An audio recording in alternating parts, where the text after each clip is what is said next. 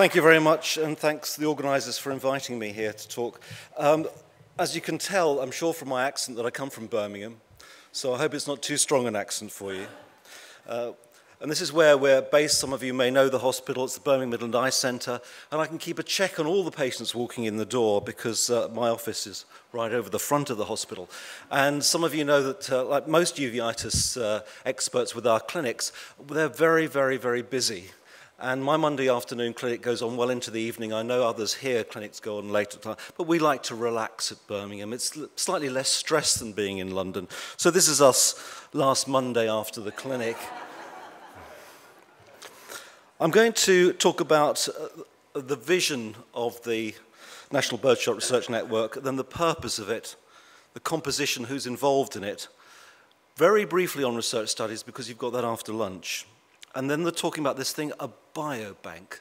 Well, what's a biobank? A, bi a bank we know is somewhere that stores or holds money, but this biobank is far more precious than that because it's going to store bits of you and your data, and I'll come on to that in a minute.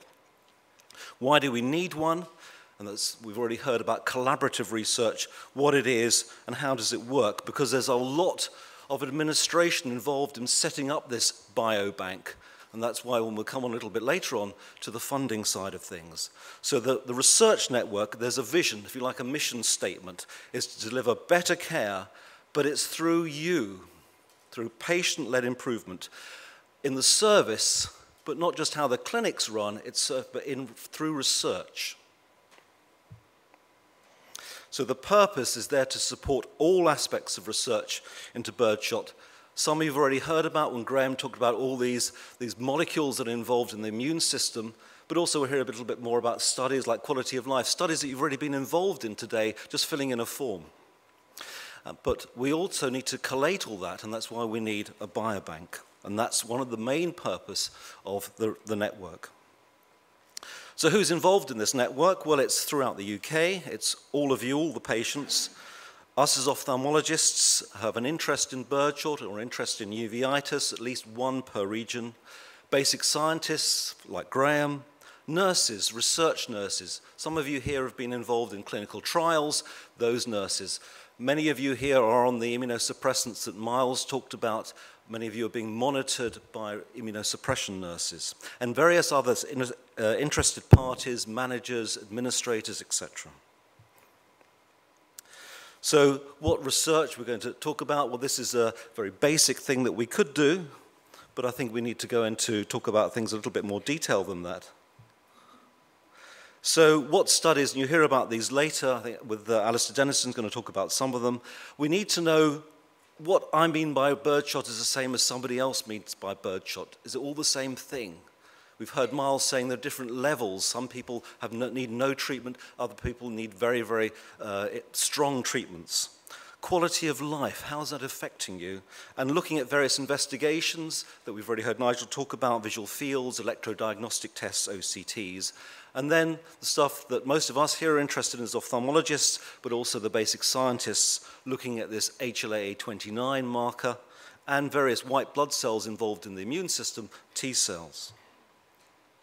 So moving on to a biobank. I said it's a very storing all your precious specimens and it's there will give us a chance to get more extensive studies into birdshot rather than people all around the country doing tiny little studies, now we'll be able to have a resource for them to do their studies and they can come to a biobank where all your material and data, clinical data is stored to do that research.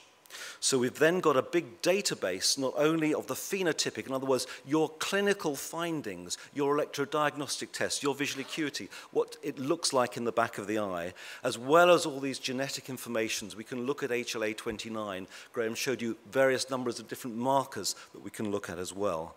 And we need to do that because we're dealing with a rare disease. So we need as many people as possible to our, so we can do our research on. And we hope that will then contribute to all the future research in birdshot. So people will be donating their genes, but they'll be donating a little bit more than that because it involves patient clinical data as well. So a biobank is this collection of human biomaterials And to do that, it has a very broad consent. So we need your consent. It has to have ethical approval for us to take all these specimens. But it doesn't have to be incredibly specific. It doesn't mean I want to take this, your blood to do a specific project. It just means I want to do your blood. It will be stored, and other people then can use that blood or that data for their own projects. But it has to be stored under conditions through the Human Tissue Authority and the Human Tissue Act. And you may remember that this came about many years ago from the scandal in Liverpool at the Alder Hey Children's Hospital for the storage and using of children's organs without the parents' permission. So we have very, very strong regulations regarding storage of tissues in any establishment. And we can give out from the biobank any researcher who applies to use it but it requires a license and is regulated through the Human Tissue Authority. I said it's a watchdog that supports public confidence, after, particularly after the Alder Hey. There were other scandals in Bristol as well. And they give approval for organ and bone marrow donations from living people as well. So it's a very, very strong, important body. So when I go around and I want to do a project and I want to collect some, perhaps some blood from my birdshot patients, I have to apply for ethical approval. And this is an online integrated research application system, IRAS. It's an online form which has numerous pages, has to go through various uh, R&D departments of trusts, and can take many, many months to get a study undertaken. But it's an extremely rigorous process, but this does not require that license because it's an individual research project that I'm doing on my own patients. But if somebody else says to me, Andrew, perhaps in Bristol, says, oh, you're, you're doing a project, you've got all these blood from patients with birdshot, can I have some, please? No, I can't do that. Because that's, he's from another site, he hasn't got permission. And he may want to do it looking for a different project, looking for a different molecule that I'm looking at. So in other words, it's very, I get the research, I get the ethics, but it's really mainly for me to do. Whereas for you giving consent for your specimens to go into a biobank, it's very generic.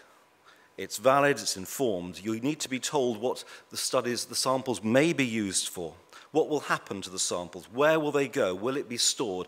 Access to health records, because we need to know the clinical data. It's not good enough to know that somebody's got something in their genes if we don't know if that person perhaps had more severe disease than the next person.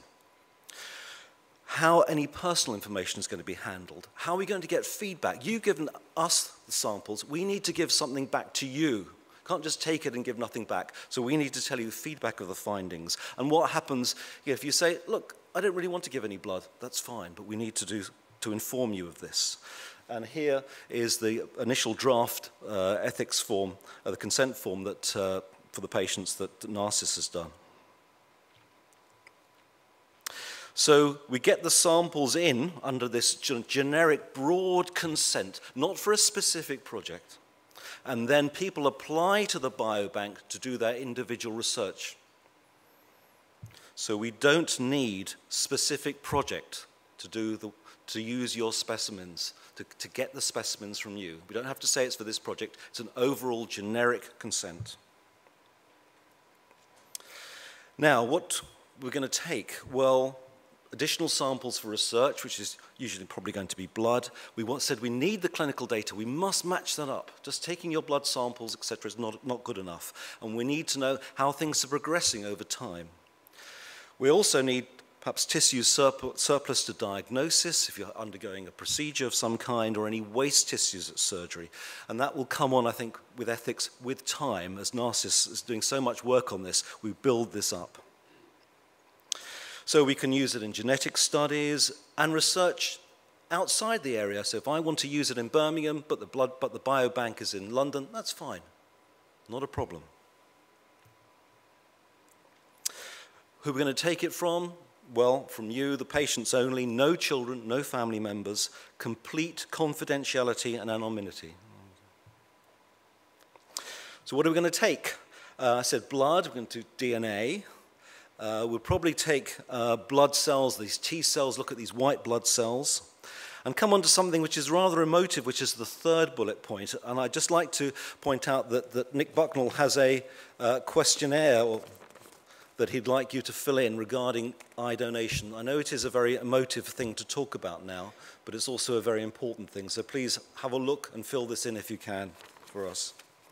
And then tissue surplus to requirements. For an example, if you need a cataract operation at some time, we make an incision into the eye, the fluid in the front chamber of the eye, the aqueous humor, just drips out. Well, we could collect that at the time and use that. And then bank all of this in one place. So we, we have a variety of specialists who could be using all these uh, resources that you will give into a central location, and then we can go and use it. So that's the, the blood or the DNA and the bits of you we need to take, but we need to know various demographics, age, gender, ethnicity, education, occupation, etc. Would expect. And then the clinical data set, how much you're seeing, your, your vision, your distance vision, near. We've already heard about contrast sensitivity chart, uh, color vision, examination, photographs, perhaps OCT findings, quality of life. And then where possible, the visual fields, electrodiagnostics, because some of you may not be routinely having these in your centers, and possibly angiography as well, the two types that you heard about earlier on.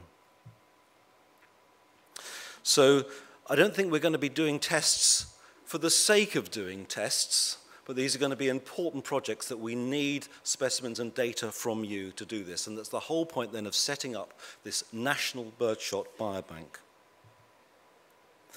So I'm sitting in Birmingham and I want to use your resources. Well, how do I go about doing that? You've filled in this generic consent form, which tells us, which allows us to take the specimens from you and all the data. And I have to fill in a form again. Narcissus has worked very hard on this. the moment it's a three-page form. What project's going to be? The research question. What do I need? Clinical data, laboratory data. How am I going to use the, this uh, data, the results, when I've, when I've got some results? but I also need ethics approval for my project. I still have to get approval for the project that I want to do, but I can use then the material from the biobank. And all this is going to take a lot of time, a lot of manpower, and a lot of money. There's a steering group. We need a director, manager, appropriate committees. I believe the biobank's going to be based at the Royal Free, but the clinical data set will be held at Moorfields with links to the Institute of Ophthalmology. We need agreements with other centres who are going to use the material, with the researchers who are going to use those samples from the biobank. Then we've got quality management, which is vital. Remember, this is regulated by the Human Tissue Authority. Patient recruitment, informed consent. We've got to trace all the samples, make sure we know where they are. What about storing the samples that's done correctly, disposing of samples? And then the requests that we need to come in from other centres to allocate the samples for release to other research projects. Retrieval, packaging, distribution. Something happens, we have to have a way of reporting this if there's an adverse event all the administration involved, the quality management systems involved, which in a way slightly taken for granted when we just want to say to you, can we just have your blood? But this is going behind the scenes, and to make the best use of it, we've got to have this infrastructure in place. So we will be looking at various markers, not pencils or ordinary markers, but genetic markers as one of the, the tests for the biobank. And I thought I would just run through again to try and summarize what I've been talking about. So, for example, I wish to do a genetic study using DNA on my birdshot patients. I obtain this IRAS approval, which may take me three to six months. And I recruit about maybe 15 patients in Birmingham.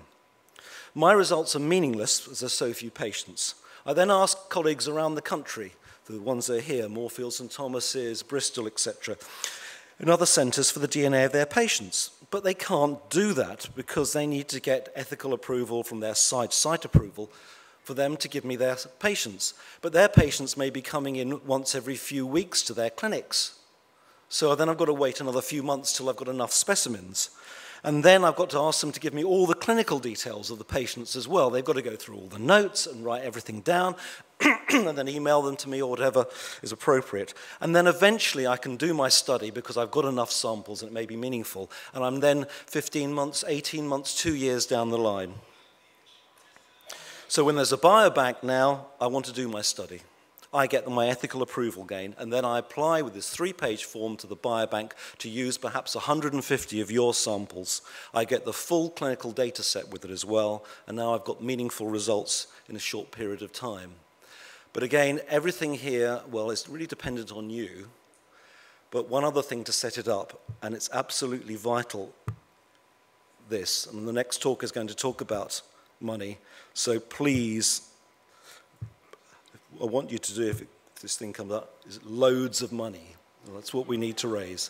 Thank you for your attention.